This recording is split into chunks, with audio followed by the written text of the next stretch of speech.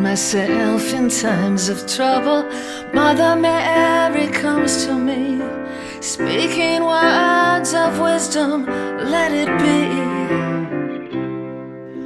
And in my hour of darkness, she is standing right in front of me, speaking words of wisdom, let it be.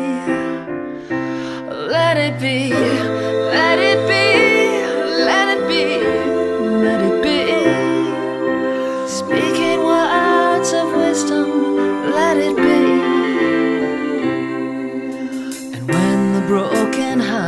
people living in the world agree, there will be an answer, let it be.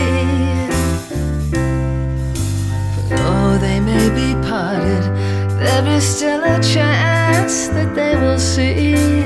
There